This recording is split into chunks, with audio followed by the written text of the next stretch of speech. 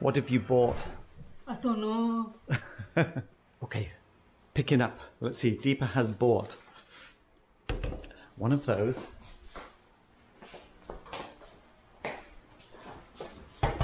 One of those for old time's sake.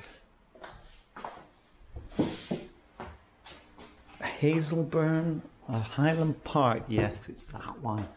The 48.8.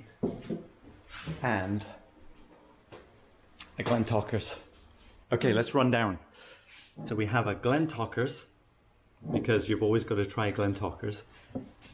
This one, I mean, do you realize it's an organic Springbank? and it's 58.6%, but it's not very old. It's only uh, seven years old, I think. Seven. This one is our favourite Highland Park, the Cadenhead one, Cadenhead.